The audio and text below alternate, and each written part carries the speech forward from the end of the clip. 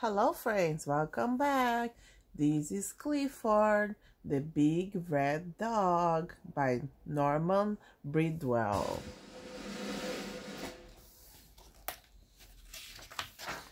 Clifford, the Big Red Dog.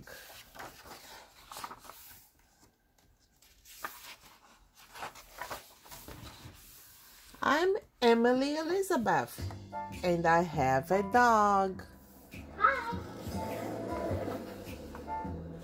My dog is a big red dog. Other kids I know have dogs too. Some are big dogs. And some are red dogs. But I have the biggest, reddest dog on our street. This is my dog, Clifford. We have fun together. We play games. What should we play today, Clifford? I throw a stick and he brings it back to me. He makes mistakes sometimes.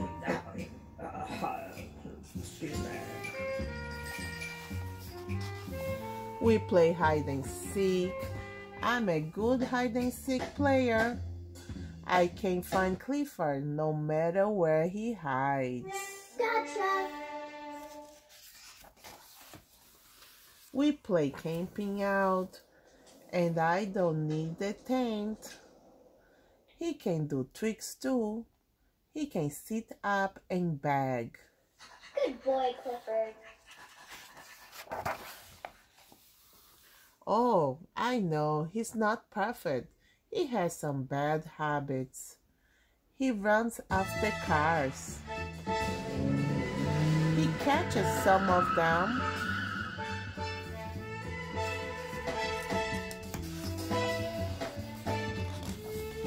He runs after cats too.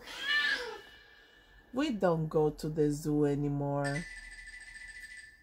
Clifford loves to chew on shoes. Hey, hey, don't mess my shoes. And he digs up flowers too. Aw, not again. It's not easy to keep Clifford.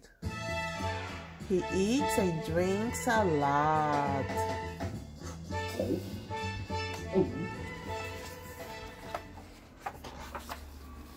His house was a problem too. But he is a very good watchdog.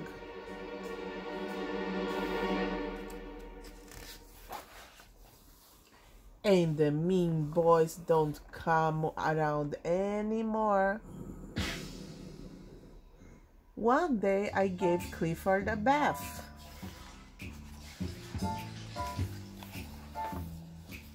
And I combed his hair and took him to the dog show.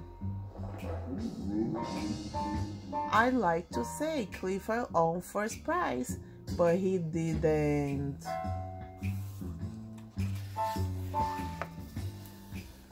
I don't care. You can keep all your small dogs. You can keep all your black, white, brown, and spotted dogs.